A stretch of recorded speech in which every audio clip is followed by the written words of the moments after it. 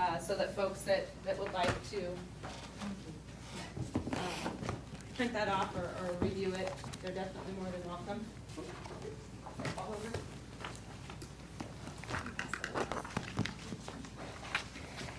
You'll read this tonight.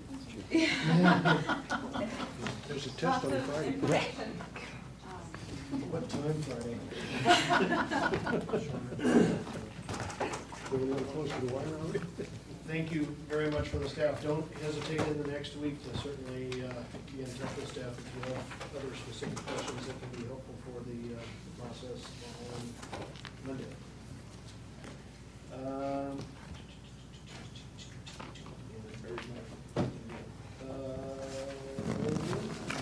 Jennifer, who's going to take the public hearing and ordinance adoption for the budget and the other ones? All right, again. I have more handouts. So, and, uh, I'll just hand these around.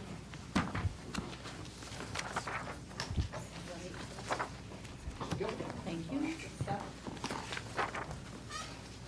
So we're handing out um, a new insert for your budget binder. Um, Instead of going through and, and showing which pages had changed and whatnot, we just printed out the whole thing again for you. Um, And we will have copies of those available as well. Um, As mentioned last week, we we're down to one copier in finance, and boy, we pushed it to its limit today with uh, trying to get everything ready. So it's been well utilized and uh,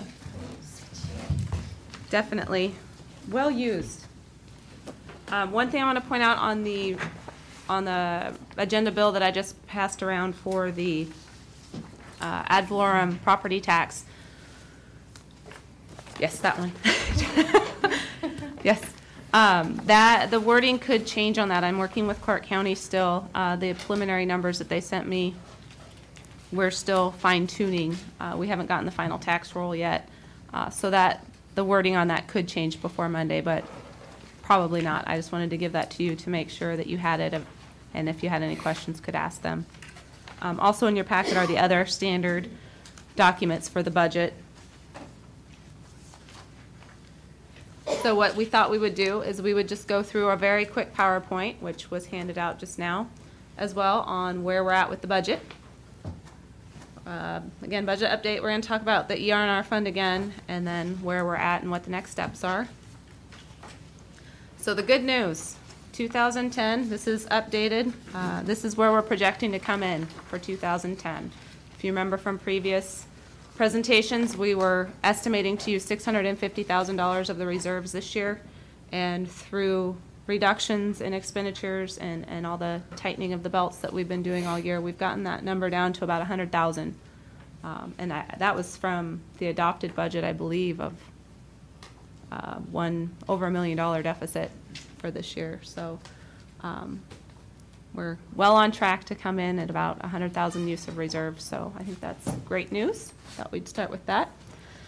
Then moving on to more good news. Uh, On 1025, we had a projected 2011 budget presented to you uh, with a $185,000 deficit. Today, the information that you received is a balanced budget. Uh, We have a zero use of, of reserves, other than for the E and R and R seating um, necessary. So how we got to a balanced budget, um, I'll go through the expenditure side first, because it'll explain the revenue side. But uh, we've had a lot of discussions on creating that, or filling that vacant police officer position. And so we have decided that we will not fill that vacant position. And through attrition, we're actually decreasing an additional police officer position. Um, I'll defer to Chief Mitchell here in a moment to explain how our current deployment is, is operating um, to be able to provide similar levels of service with the staff that we currently have. Um, So we've decreased 200,000 out of the expenditure side.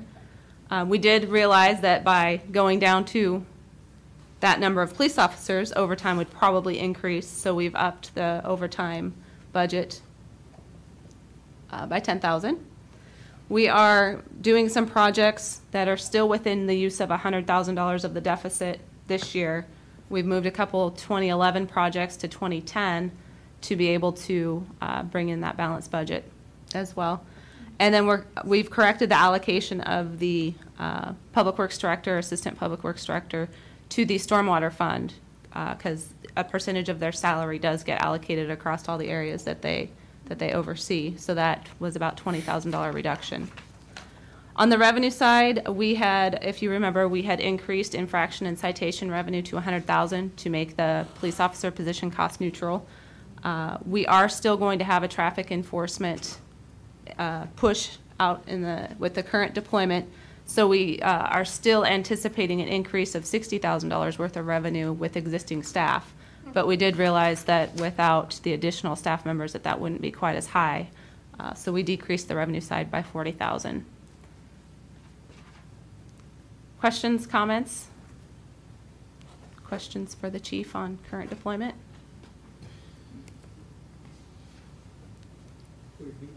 Yeah, no kidding.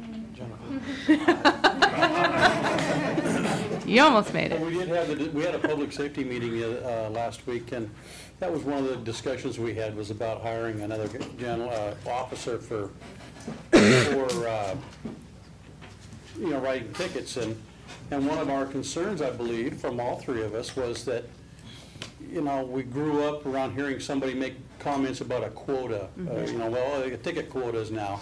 And, and that's the problem that I see in this one, is that if we're gonna try to justify his, uh, his pay, he's gonna be very aggressive, and, and what happens with, and I think Chief Mitchell pointed out uh, quite often throughout this discussion, was that the thing we don't know is, once it gets to court, how often the judge throws it out, reduces the fine. That's a, that's a, that's a number that's just never gonna be static, it's just all over the board. And, you know, it, it just brings into so many theories on why, how you would justify that position. And so, you know, one of the thoughts that I had that day was asking Chief Mitchell if we could do it in-house with the current staff, and it looks like you guys have, have gone that route, but, and thinking the same way, but, you know, let's see if it pays itself it- by any stretch of imagination. If, if ultimately everybody figures it out and starts slowing down, you don't have that problem either. Right. Um, There's no question that out there right now, you can ask anybody that, there's people that run the stop signs on a, on a daily basis, there's people that break the speed limits, but I just didn't want to see it become a quota book or justification for their job, and, and then find out ultimately, and this was probably my, the biggest thing I was concerned about, was that after the fact, you hired an individual, and in six months from now, you say, wow, this just isn't working, we're, we're, in a- we're faced into a, laying somebody off, eliminating that position.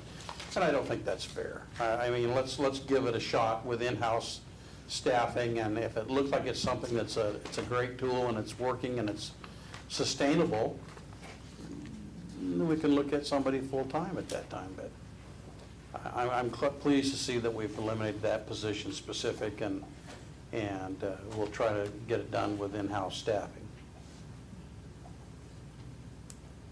Any other questions, comments? All right. Um, In working with Paul Lewis and the ER and R Fund, uh, we found out that we are actually legally required to have an ER and R fund. So um, it's, I provided the RCW, and uh, every city that has a population as of the last official census of over eight